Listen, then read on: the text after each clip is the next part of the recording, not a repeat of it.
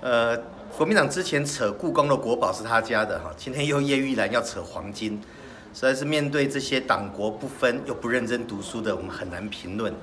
光讲黄金就好了哈，去查一下蒋介石的侍从官啊周公涛，或者去查一九五零年六月中央银行的报告书，或者当年度的财政部的报告书，都告诉你一件事实。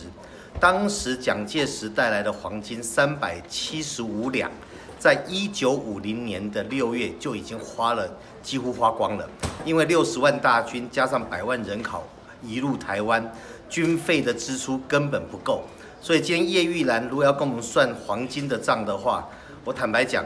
那在一九五零年以后，那国民党这群人花的台湾的资源，还导致台湾。四万块换一块钱的通货膨胀，这个账国民党三代都还不完。所以叶玉兰要扯黄金之前，是不是先用功研究一点？从故宫的国宝到这个黄金，除了表现出你们党跟国分不清楚以外，连基本的事实认知都出问题。如果国民党这一群人一定要把台湾跟中国国民党算得那么清楚，分得那么清楚的话，我建议大家好好算一算，四万换一元的台湾人可以跟他们算账。一九五零年黄金用完之后，所有的支出国民党也应该偿还，这还不包括侵占日产、国产的财产。所以叶玉兰的发言要不要继续？国民党自己做个决定。